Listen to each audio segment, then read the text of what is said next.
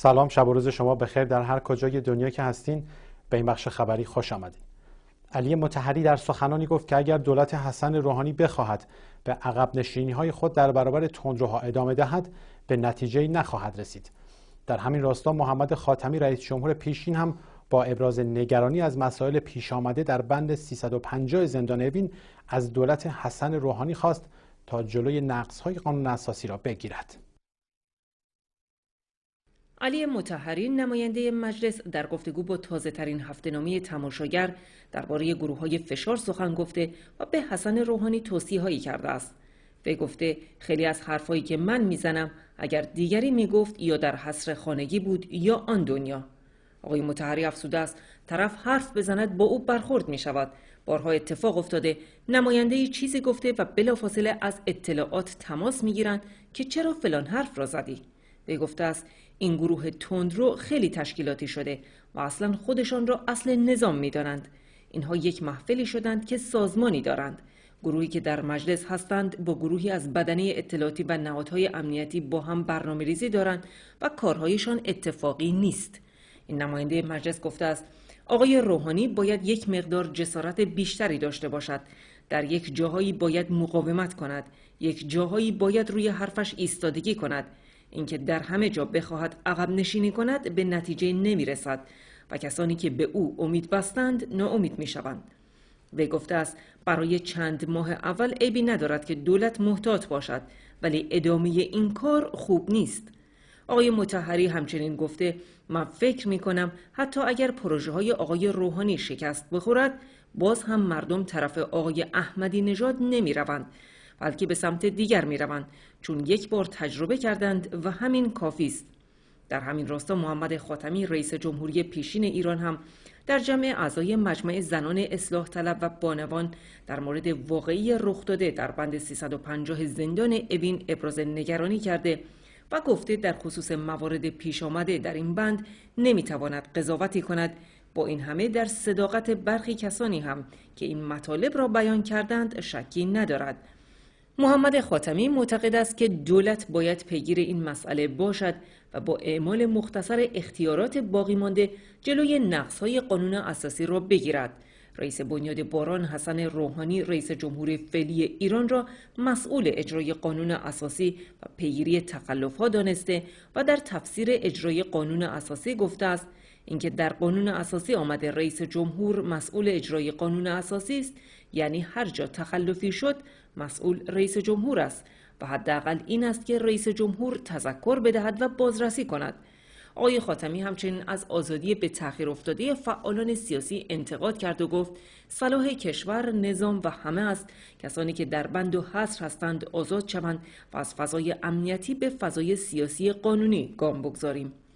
محمد خاتمی در مورد حصر میرحسین موسوی، مهدی کروبی و زهرا رهنورد نیز ابراز امیدواری کرده که این مسئله هرچه زودتر حل شود و آنها آزاد شوند. رئیس جمهوری پیشین ایران در پایان سخنانش به وقایع رخ داده در زمان ریاست جمهوری خودش اشاره کرده و گفته در زمان ما هم روزنامه ها بسته می‌شد و خیلی ها دستگیر می شدند یا تحت فشار قرار می گرفتند. با این همه جامعه احساس می کرد که دولت مدافع آزادی و حق و حرمت جامعه است. آقای خاتمی به محدودیت های قوه مجریه نیز اشاره کرده و گفته گرچه رئیس جمهور ابزار لازم برای اجرا را ندارد و حتی ما که تلاش کردیم از ترس نگرفتن همین حداقل اختیارات از پیگیری آن لایحه‌ای که به نفع انقلاب بود صرف نظر کردیم. اشاره محمد خاتمی به لوایحی است که مربوط به تبیین حدود وظایف و اختیارات رئیس جمهوری بود و شورای نگهبان در اردیبهشت 82 آن را مقایر با قانون اساسی تشخیص داد و برای اصلاح به مجلس مسترد کرد و در نهایت بایگانی شد. دولت محمد خاتمی در برابر تندروها و فشارهایی که به گفته دولت اصلاحات هر نه روز با یک بحران ایجاد می‌شد کوتاه آمد و اکنون نیز به نظر می رسد دولت روحانی هم همان مشی را در پیش گرفته است. در روزهای اخیر وابستگان و منصوبان علی خامنه‌ای در سپاه و قوه قضایی و مجلس با حمله به بند زندانیان سیاسی و نیز ساخت یک فیلم علیه روحانی سعی کردند دولت را تحت فشار قرار دهند. آژانس بین المللی انرژی اتمی اعلام کرد که بازرس ارشد این سازمان در سفری به تهران گفتگوهای غیر رسمی با مقامهای ایرانی داشته است. این سفر پیشتر از سوی آژانس اعلام نشده بود. آژانس بین المللی انرژی اتمی در مورد جزئیات این سفر توضیحات بیشتری ارائه نکرده است. به گفته رویترز ایران تا 25 اردیبهشت ماه فرصت دارد به آژانس در خصوص میزان احتیاجش به تولید و توسعه نوعی چاشنی انفجاری پاسخ دهد. این مواد منفجره که چاشنی های سیم پل انفجاری نام دارند هم کاربرد غیر هسته‌ای دارند و هم می توانند در ساخت تسلیحات هسته‌ای مورد استفاده قرار گیرند. آژانس اواخر فروردین ماه اعلام کرده بود ایران ذخایر اورانیوم 20 درصدی خود را که می تواند سریعا به اورانیوم دارای مصارف نظامی تبدیل شود یک سوم کاهش داده است. حمید بعیدی نژاد مدیر کل سیاسی وزارت خارجه ایران همراه هیئتی برای شرکت در کنفرانس مقدماتی بازنگری پیمان منع گسترش سلاح‌های هسته‌ای راهی نیویورک شد. این اجلاس از 8 تا 19 اردیبهشت برگزار می شود.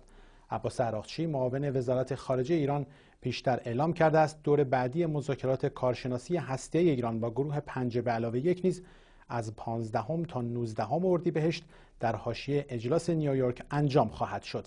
آقای عراقچی افزوده که قرار است چند روز بعد نیز در 23 اردیبهشت ماه مذاکرات در سطح بالاتر با حضور محمد جواد ظریف وزیر خارجه کاترین اشتون مسئول سیاست خارجی اتحادیه اروپا و هیئت‌های گروه پنج نفره پنج به علاوه یک در وین برگزار شود.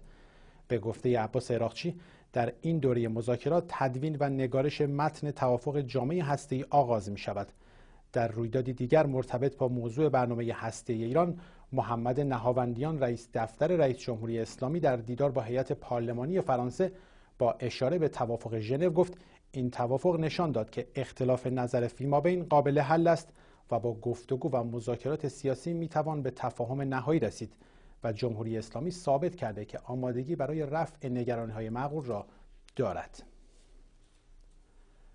در واکنش به همراهی عده کثیری از مردم و فعالان سیاسی با زندانیان سیاسی و حمله امنیتی ها به آنها محافظه کاران در اظهار نظرهایی به این موضوع واکنش نشان دادند. غلام حسین محسنی اژه‌ای ابتدا به فعالان سیاسی برای بازگشت هشدار داده و سپس در خصوص ماجرای اوین هم گفته است برای کسانی که در ناآرامی بند 350 زندان اوین اقدام به تخریب اموال زندان کردند پرونده تشکیل می شود وی همچنین افزوده است که مسئله کشف مشروبات الکلی در این بند در صورت جلسه آمده است. در همین راستا مسعود جزایری معاون ستاد کل نیروهای مسلح هم مسلح هم از قوه قضایی خواسته است تا با فتنگران برخورد جدی کند. خبرگزاری تصنیم گزارش داد مسعود جزایری معاون ستاد کل نیروهای مسلح گفته است فتنگران زمانی که زمینه پیدا کنند با وقاحت هرچه تمامتر مجددا دشمنی های خودشان را بروز می دهند و قوه قضایی بدون تحت تاثیر بودن باید با آنها برخورد جدی کند. حکومت ایران مخالفان و منتقدان سیاسی خود را از سال 88 به این سو فتنگر می نامد. جزایری در همایش استادان و مربیان سازمان عقیدتی سیاسی وزارت دفاع گفته در سال 88 از طرف مسئولان کوتاهی و اهمالهایی صورت گرفت و متاسفانه فتنگران باقی ماندند و هنوز هم فتن انگیزی می کنند. به همچنین مدعی شده بلایی که در جنگ کودتاها اقدامات تجزیه طلبانه و هشت سال جنگ تحمیلی بر کشور اثر نداشت ولی در فتنه 88 یک جا بر ایران وارد آمد این مقام نظامی در پایان گفته است جبهه استکبار برای نابودی ایران ده فرمان شیطانی را طراحی کرده که تضعیف و ناکارآمدسازی رهبری مدیران و نظام مدیریت در کشور اولین فرمان آن است. جزایری گفته دشمنان در این عملیات تبلیغی و رسانه‌ای با مسئله سازی و طرح مسائل متعدد بزرگنمایی آسیبها و ارائه راست و دروغهای فراوان نوعی عملیات نرم برای ایجاد تردید و سست کردن باورها و تغییر اذهان جامعه ایران را پیگیری می کنند. در همین راستا غلام حسین محسنی اژه‌ای سخنگوی قوه قضاییه ایران هم در یک نشست خبری اعلام کرد احکامی برای چهار نفر از جریان فتنه صادر شده و روال قانونی در مورد آنها اجرا می شود. سخنگوی قوه قضاییه ایران نه نامی از این چهار نفر برد و نه اسامی کسانی که ممنوع الخروج شدند را اعلام کرد. او گفت به دلیل غیر قطعی بودن حکم کسانی که ممنوع الخروج شدند نامی از آنها نخواهد برد. بسیاری از ایرانیانی که به دلایل سیاسی ایران را ترک کردند علیرغم تمایل شدید به بازگشت به وطن از اقدام به این کار خودداری می کنند این در حالی است که دولت حسن روحانی بارها ایرانیان را دعوت به بازگشت کرده است. در دی ماه سال گذشته حسن قشقاوی معاون وزارت خارجه در امور کنسولی حقوقی اعلام کرد غیر از مواردی که تحت تعقیب و دارای پرونده قضایی هستند بقیه آزادند که به سرزمین مادری رفت و آمد داشته باشند. به نظر می رسد سخنان محسنی اژه‌ای هشداری به منتقدان برای بازگشت و اقدامی برای تحت فشار گذاشتن دولت روحانی باشد. سخنگوی قوه قضاییه در ادامه با اشاره به ماجرای حمله امنیتی ها به اوین گفته است. برای کسانی که در ناآرامی های بند 350 زندان اوین اقدام به تخریب اموال زندان کردند پرونده تشکیل می شود. آقای اژه‌ای گفته زندان ملک شخصی زندانی نیست. ممکن است یک زندانی از یک بند به بند دیگر منتقل شود یا از اتاقی به اتاق دیگر. اینکه یک زندانی اجازه بازرسی ندهد و شروع به بد گفتن و تعرض کند و شیشه بشکند درست نیست. سخنگوی قوه قضاییه همچنین از کشف به گفته وی وسایل غیرقانونی در بند 350 زندان اوین خبر داده و گفته اگر فردی که بازداشت شده است اشیاء ممنوعه را وارد زندان یا بند کند جرم مرتکب شده و قابل تعقیب است. به گفته از قوه قضایی نسبت به قوانین پایبند است و اگر در داخل و یا خارج زندان کارمند یا زندانی طبق مقررات عمل کند از او حمایت شده و اگر خلافی مرتکب شود با او برخورد می شود حمید رسایی نماینده اصولگرای مجلس روز دوم اردیبهشت در گفتگو با خبرگزاری فارس از کشف مشروبات الکلی در بند 350 زندان اوین خبر داده بود در این خصوص آقای اژه‌ای روز دوشنبه گفت بعضی بندها با استفاده از میوه در طول مدت زمان مشروب تهیه می کنند که البته خیلی ها نیز موفق به این کار نمی شوند. این بدان معنا نیست که مشروب را از بیرون به داخل زندان برده و یا پاتیل ساختند. این مطلب نقل شده از سوی نماینده مجلس دروغ نیست و من از میزان آن اطلاعی ندارم اما کشف آن را در صورت جلسه دیدم. روز پنجشنبه 28 فروردین مأموران و زندانبانان اوین اقدام به ضرب و شتم زندانیان بند 350 کردند که در پی آن شماری از آنها دچار جراحت شده و به مراکز درمانی بیرون از زندان منتقل شدند. اعتراضها به وقایع رخ داده در بند 350 اوین همچنان ادامه دارد و در همین خصوص دهها زندانی در زندانهای اوین و رجای شهر در اعتراض به این ضرب و شتم دست به اعتصاب غذا زدند بانکیمون دبیر کل سازمان ملل متحد نسبت به پیامدهای احکام اعدام صادر شده برای 683 نفر از اعضا و طرفداران گروه اخوان المسلمین در مصر هشدار داد. به گزارش خبرگزاری فرانسه استفان دوجاریچ سخنگوی دبیر کل سازمان ملل به نقل از بانکیمون گفت که احکام اعدام صادر شده برای این افراد از جمله محمد بدی رهبر اخوان المسلمین مصر می تواند بر کل منطقه تأثیر بگذارد. در همین حال آمریکا هم از صدور حکم اعدام برای اعضای اخوان المسلمین انتقاد کرده است. یک دادگاه در مصر دوشنبه هشتم اردیبهشت محمد بدی رهبر گروه اخوان المسلمین و 682 عضو دیگر این گروه اسلامگرا را به مرگ محکوم کرده است دبیر شورای مرکزی فتح از سفر محمود عباس رئیس تشکیلات خودگردان فلسطین طی روزهای آینده به غزه خبر داد به گزارش رویترز امین مقبول گفت رئیس تشکیلات خودگردان پس از صدور دستور تشکیل دولت وحدت ملی و برگزاری انتخابات به غزه سفر می کند. از سوی دیگر محمود عباس به منظور جلب حمایت کشورهای عربی از توافق آشتی ملی اخیر میان هیئت سازمان آزادی بخش فلسطین و حماس که روز چهارشنبه گذشته به امضا رسید به کشورهای عربی سفر می کند.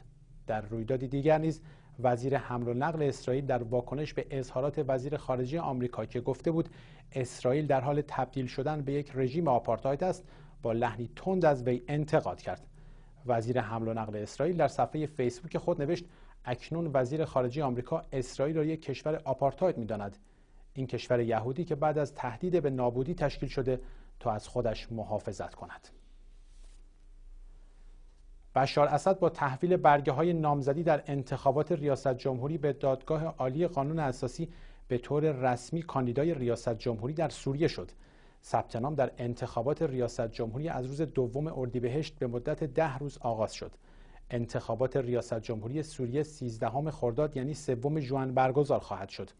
اما شهروندان مقیم خارج از این کشور در روز هفتم خرداد ماه یعنی 27 مه در سفارتخانه های سوریه رأی خواهند داد. به گفته منابع خبری سوریه تا روز یکشنبه چهار نامزد دیگر برای شرکت در رقابت های انتخاباتی ریاست جمهوری ثبت نام کردند. انتخابات ریاست جمهوری سوریه در محافل جهانی و اپوزیسیون این کشور مورد انتقاد قرار گرفته و غیر دموکراتیک ارزیابی شده است. جمهوری اسلامی از معدود کشورهایی است که روند برگزاری این انتخابات را قانونی شمرده است. بشار اسد پس از مرگ پدرش حافظ اسد از 17 ژوئیه سال 2000 تا کنون رئیس جمهوری سوریه است. اما در ادامه ماجراجویی های روسیه در اوکراین و افزایش تنش بین این کشور و غرب وزیر دفاع روسیه می‌گوید تحرکات نظامی آمریکا و ائتلاف بین المللی ناتو در نزدیکی مرزهای کشورش بی سابقه است. در همین حال ایالات متحده آمریکا و اتحادیه اروپا تحریم های جدیدی علیه روسیه وضع کردند که افراد و شرکت های نزدیک به حلقه ولادیمیر پوتین رئیس جمهوری این کشور را در بر می‌گیرد. روسیه هم در واکنش گفته است که به این تحریم ها پاسخ دردناکی خواهد داد. به گزارش خبرگزاری رویترز وزارت دفاع روسیه تحرکات نظامی آمریکا و ائتلاف بین المللی ناتو در نزدیکی مرزهای آن کشور را بی سابقه خوانده است. رسانه های روسی همچنین نقل کردند که آقای شویگو طی تماس تلفنی با چاک هیگل همتای آمریکاییش از وی خواسته طرفین از حجم لفاظی هایی که به تنش ها دامن می‌زنند بکا این رسانه ها همچنین گزارش دادند آقای شویگو در این تماس تلفنی آمادگی مسکو برای تماس با تمامی طرفین درگیر در این مناقشات برای کاستن از تنش ها را اعلام کرده است. در همین حال ایالات متحده آمریکا تحریم های جدیدی علیه روسیه وضع کردند که افراد و شرکت های نزدیک به حلقه ولادیمیر پوتین رئیس جمهوری این کشور را در بر می‌گیرد. گزارش خبرگزاری ها حاکی است که تحریم های آمریکا علیه هفت مقام و 17 شرکت روسی که نزدیک به افراد حلقه پوتین هستند وضع شده است تا برای کاهش تنش ها در اوکراین فشار بیشتری بر رئیس جمهوری روسیه وارد شود. عمده 17 شرکت تحت تحریم آمریکا از سوی تاجران روسی که نزدیک به پوتین هستند اداره می شوند. از جمله آنها گنادی تیمچنکو و برادران بوریس و آرکادی روتنبرگ که همه آنها در ماه مارس در فهرست نخست تحریم های آمریکا قرار گرفته بودند. اعمال مجازات های جدید علیه روسیه در واکنش به عدم رعایت مفاد توافقنامه ژنو برای پایان دادن به بحران اوکراین صورت می گیرد. کاخ سفید گفته است که دخالت روسیه در های اخیر در شرق اوکراین غیرقابل انکار است و هشدار داده که آمریکا و شرکای آن آماده اند تا اگر روسیه تحریک آفرینی های خود را ادامه دهد مجازات های بیشتری را علیه این کشور تصویب کنند. تحریم های تازه آمریکا از سوی باراک اوباما رئیس جمهوری این کشور در جریان سفر وی به فیلیپین اعلام شد. آقای اوباما گفت که وی قصد ندارد شخص پوتین را هدف تحریم ها قرار دهد و در پی این است تا محاسبات وی را در این خصوص تغییر دهد که اقدامات اخیرش تا چه اندازه می تواند بر چشمانداز دراز مدت اقتصاد روسیه تاثیر نامطلوب داشته باشد. از جمله افرادی که هدف تحریم های آمریکا قرار گرفتند می توان به ایگور سچین رئیس شرکت دولتی روسنفت اشاره کرد که از اوایل دهه 1990 برای پوتین کار می کند. آقای سچین مقامی است که در سال 2003 پشت سر اقدام حقوقی دولت روسیه علیه شرکت نفتی خصوصی یوکاس و پایه‌گذار آن میخائیل خودورکوفسکی بود. بخش عمده از شرکت یوکاس توسط روسنفت تصاحب شد که آن را به بزرگترین شرکت روسیه تبدیل کرد. آمریکا همچنین محدودیت هایی در زمینه فروش قطعات با فناوری بالا که از سوی روسیه در صنایع دفاعیش به کار می‌برد وضع کرده است. اتحادیه اروپا نیز 15 روس و اوکراینی دیگر را به دلیل نقش آنها در بحران اوکراین به فهرست تحریم های خود اضافه کرد. این افراد همانند پنجاه نفر پیشین مشمول ضبط دارایی و همچنین ممنوعیت صدور ویزا خواهند شد. هنوز فهرست جدید افراد تحت تحریم اتحادیه اروپا منتشر نشده است چرا که باید از سوی دولت‌های عضو این اتحادیه مورد تصویب قرار گیرد احتمال دارد این لیست روز سهشنبه نهم اردیبهشت منتشر شود. کانادا نیز دو شرکت و نه فرد روسی را در فهرست تحریم های جدید خود قرار داد. اسامی این افراد و شرکت ها هنوز اعلام نشده است. در همین حال روسیه در واکنش به تحریم های جدید آمریکا گفته است که پاسخ دردناکی به آن خواهد داد. به گزارش خبرگزاری فرانسه سرگئی ریباکوف معاون وزیر امور خارجه روسیه اظهار داشت ما البته به این اقدام پاسخ خواهیم داد و این پاسخ قطعا تاثیر دردناکی بر واشنگتن خواهد گذاشت. وی جزئیاتی در این زمینه اعلام نکرد ولی گفت که روسیه گزینه های زیادی در اختیار دارد. آمریکا و اتحادیه اروپا پس از آنکه روسیه در ماه مارس شبه جزیره کریمه را به خاک خود زمینه کرد. نخستین دور تحریم ها را علیه افراد نزدیک به پوتین وضع کرد که شامل ضبط دارایی ها و همچنین محدودیت صدور ویزا برای آنها بود. با این حال با وضع تحریم های جدی علیه روسیه باراک اوباما نسبت به تغییر سیاست های پوتین ابراز بدبینی کرد. اوباما در این خصوص گفته است ما هنوز نمی‌دانیم که این اقدامات جواب خواهد داد. زهرا و نرگس زهرا و نرگس موسوی دختران آقای میرحسین موسوی خبر انتقال وی به بیمارستان قلب را در شبکه های اجتماعی منتقل کردند. به گفته گفته می شود که آقای موسوی به بخش بیمارستان قلب تهران منتقل شده است. تحماسب مظاهری رئیس پیشین بانک مرکزی گفت کار سالم و بدون رانت سود 25 درصد و بالاتر ندارد و مؤسساتی که چنین سودهایی می‌دهند یا در کار رانت و قاچاق هستند و یا به دام نزولخوری افتادند به گزارش خبرگزاری مهر آقای مظاهری در یک برنامه تلویزیونی گفت برخی بانک ها و مؤسسه های مالی در حال حاضر به سپرده های بلند مدت سودهای بالای 20 درصد می‌دهند و از دریافت کنندگان وام نیز بهره های هنگفتی دریافت می کنند. بسیاری از مؤسسه های مالی که سود و بهره های بالای 20 درصد می‌دهند یا می‌گیرند وابسته به نهادهای نظامی همچون سپاه پاسداران پلیس و صنایع دفاع هستند. مظاهری در بخش دیگری از سخنان خود هم با اعلام اینکه معوقات بانکی به سه برابر بالاتر از مرز بحران رسیده گفته میزان این معوقات در حال حاضر بیش از شش برابر دریافتی ایران در توافقنامه ژنو است. بر اساس توافقنامه ژنو کشورهای غربی متحد شدند حدود 7 میلیارد دلار دارایی‌های جمهوری اسلامی را آزاد کنند. وزیر راه و شهرسازی دولت سابق گفت احتمالا برخی از نزدیکان دولت دهم برای انتخابات آینده مجلس شورای اسلامی ورود پیدا می کنند. به گزارش خبرگزاری ایرنا علی نیکزاد وزیر محمود احمدی نژاد در پاسخ به اینکه آیا خودش هم در انتخابات آینده مجلس نامزد می شود یا خیر گفت تصمیم گیری برای حضور در انتخابات مجلس زود است و فعلا تصمیمی در این باره نگرفتم وی همچنین درباره جلسات وزرای دولت دهم با احمدی نژاد گفت این نشست ها جلسه مشترک نیست بلکه دور هم بودن است.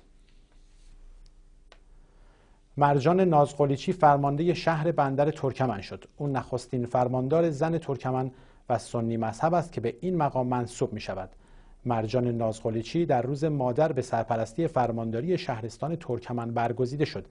وی از سال 1383 تا 1385 بخشدار مرکزی شهرستان ترکمن بوده است. پس از روی کار آمدن دولت یازدهم وعده های روحانی بر سر واگذاری پست ها به اقوام و اهل سنت عملی نشد. به رغم آن اخیرا دو زن بلوچ برای تصدی پست های فرمانداری در استان سیستان و بلوچستان و یک زن ترکمن برای احراز مقام فرمانداری شهرستان ترکمن برگزیده شد. عضو کمیسیون انرژی مجلس گفت طرح تفحص از وزارت نفت هفته آینده در صحن مجلس قرائت می شود سید مهدی موسوی نژاد عضو کمیسیون انرژی مجلس ایران در گفتگو با خبرگزاری تصنیم با اشاره به نهایی شدن طرح تحقیق و تفحص از وزارت نفت گفت طرح تحقیق و تفحص از وزارت نفت در کمیسیون انرژی مجلس و با امضای 25 تن از نمایندگان تقدیم هیئت رئیسه مجلس شده است. وی افزود بررسی علل واردات بیرویه بنزین یکی از مهمترین موارد تفحص از وزارت نفت است.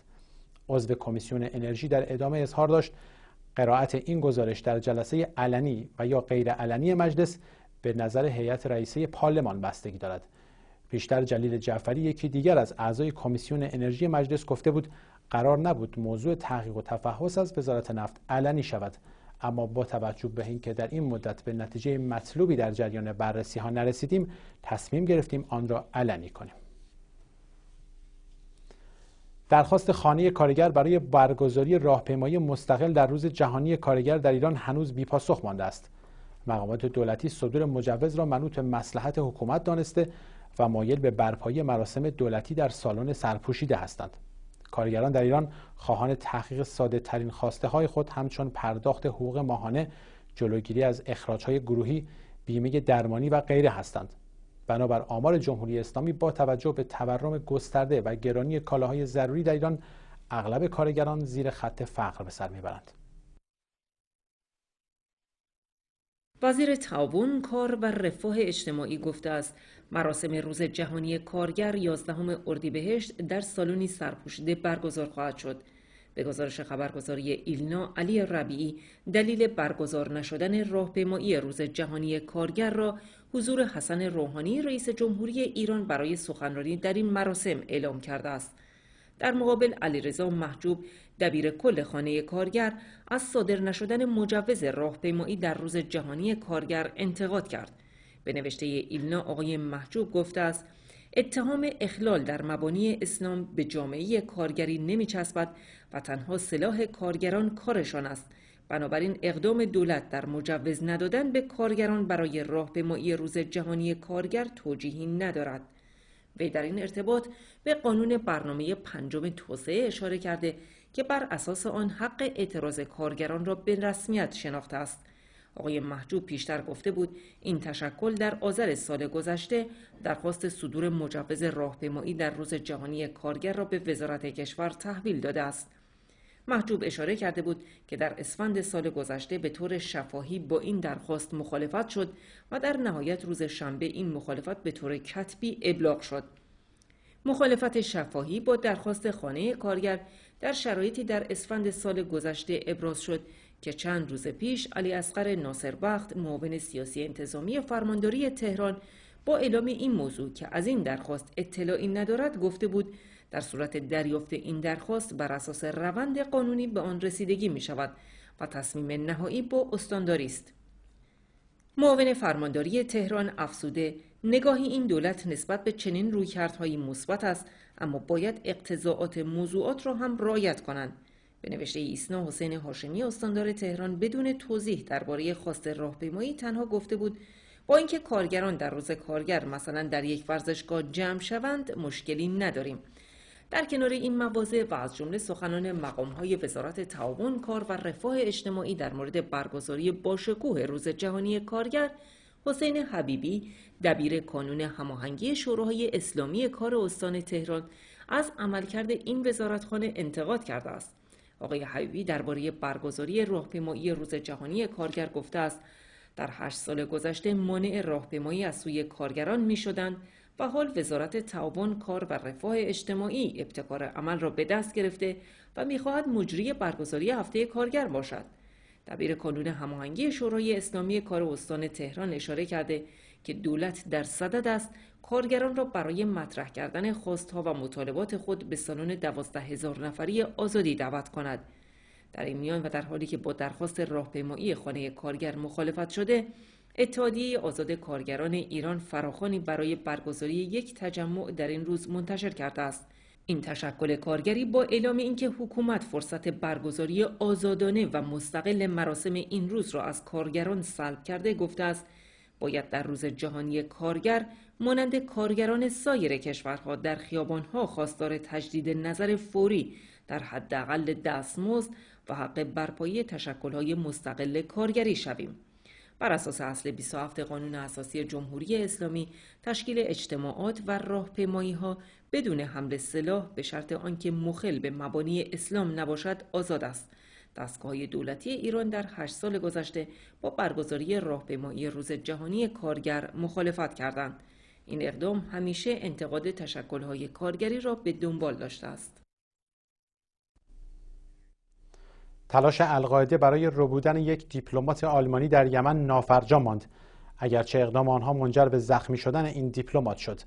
به گزارش رویترز یک منبع امنیتی یمنی در این خصوص گفت شبه نظامیان وابسته به القاعده در مسیر خیابان سفر صنعا پایتخت یمن مانع حرکت خودروی وابسته به سفارت آلمان شدند و تلاش کردند یک دیپلمات این کشور را بربایند اما موفق به تکمیل عملیات نشدند. با تیراندازی افراد مسلح به سوی او و راننده یمنیش دیپلمات آلمانی زخمی شد منابع امنیتی توضیح بیشتری درباره نام میزان جراحت و وضعیت جسمانی دیپلمات آلمانی نداد بیشتر از این تعدادی از های آلمانی در یمن طی های جداگانه هدف قرار گرفته بودند که معروفترین عملیات محافظ شخصی سفیر آلمان کشته شد. رئیس جمهوری الجزایر عبدالمالک سلسال را به عنوان نخست وزیر این کشور انتخاب کرد. به گزارش شبکه المیادین عبدالعزیز بوتفلیقه رئیس جمهوری الجزایر که روز گذشته پس از تصدی سمت ریاست جمهوری سوگند یاد کرد عبدالمالک سلسال را به عنوان نخست وزیر این کشور منصوب کرد. عبدالمالک سلسال در دوره قبلی ریاست جمهوری بوتفلیقه نیز نخست وزیر این کشور بوده است. حزب اسلامگرای مخالف بوتفلیقه مراسم تحلیف قانون اساسی رئیس جمهور این کشور را تحریم کرده بودند. این احزاب به خاطر آنچه آن را تقلب مفتهزانه در انتخابات ریاست جمهوری نامیدند اعلام کردند که در مراسم سوگند قانون اساسی بوتفلیقه شرکت نمی کنند بوتفلیقه که برای بار چهارم رئیس جمهور الجزایر شده است معلول و از صندلی چرخدار استفاده می کند. میانجیگران منطقه‌ای در مذاکرات صلح میان دولت سودان جنوبی و شورشیان از آغاز مجدد این گفتگوها در آدیس آبابا پایتخت اتیوپی به منظور پایان دادن به درگیری‌های داخلی چهار ماهه سودان جنوبی خبر دادند. مذاکرات صلح اندکی پس از شروع درگیری‌ها در اواسط دسامبر سال گذشته میلادی آغاز و منجر به امضای توافق آتشبس در اواخر ژانویه شد که با سرعت نقض شد.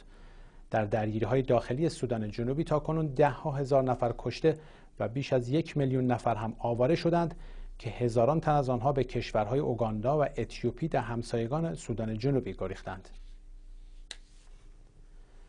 روز گذشته پنج وزیر اقتصاد کشورهای فرانسه، بریتانیا، آلمان، ایتالیا و اسپانیا گرد هم آمدند تا تدابیر جدیدی در مورد پولشویی و جابجایی مالیاتی این کشورها اتخاذ کنند. جزئیات بیشتر در گزارش خبرنگار ما در پاریس محمد رضا شاهید. روز گذشته پنج وزیر ژ پنج وزرای اقتصاد یعنی وزرای اقتصاد بریتانیا، آلمان، اسپانیا و فرانسه گرد هم آمدند تا تدابیر جدیدی رو در دو نکته اتخاذ کرده باشند. مسئله پولشویی و جابجایی مالی و مالیاتی. این نشست از دو سال پیش دنبال می شود همین هفته اول ماه آوریل از دو تا هشت وزرای اقتصاد گرد هم آمدند اما نشست دیروز به دلیل تصمیماتی که اتخاذ کردند حائز اهمیت است و قرار است در شش ماه آینده 28 و 29 اکتبر در آلمان نتایج این کار محکزنی بشود. در حال حاضر 39 بنیاد دولتی و غیر دولتی تبادل اطلاعات و نظرهایی رو که دارن بین هم رد و بدل خواهند کرد. البته سوئیس از این همکاری فاصله گرفته است اما حاصل این کار اجازه خواهد داد تا پولشویی و مسئله شرکت هایی که مالیات های لازم رو نمی‌پردازند تا اندازه مشخص بشود. از نظر تحریم نیز این تصمیمات جالب خواهد بود به این دلیل که چه دولت هایی که تحریم کننده هستند و چه دولت هایی که تحریم شونده در این جابجایی و پولشویی ها زیر نظر قرار خواهند گرفت. وزیر اقتصاد آقای میشل سبن که وزیر جدید کابینه هست از این نشست اظهار رضایت کرد. همینطور وزیر اقتصاد ایتالیا و قطعا در روزهای آینده جزئیات بیشتری رو با خبر خواهیم شد. پاریس تلویزیون ایران فردا. روزنامه ابتکار که صبح روز شنبه ششم اردیبهشت ماه توسط دادسرای رسانه توقیف شده بود امروز رفع توقیف شد. محمد علی وکیلی مدیر مسئول روزنامه ابتکار در گفتگو با ایسنا با تایید این خبر اظهار کرد امروز از سوی دادسرای رسانه با من تماس گرفته شد و خبر لغو توقیف روزنامه ابتکار از طریق فکس به ما اعلام شد. در شماره پنج شنبه چهارم اردیبهشت ماه روزنامه ابتکار تیتری در یکی از ستونهای صفحه نخست کار شد که در آن به جای واژه جابجایی از برکناری استفاده شد. تیتر این ستون برکناری رئیس سازمان زندانها بود. همین موضوع موجب شد تا این روزنامه به استناد ماده 6 بند 11 توسط دادسرای رسانه توقیف شود. بسیار سپاسگزارم که با ما همراه بودین تا این بخش خبری. شب روز خوش رو بهتون آرزو می‌کنم.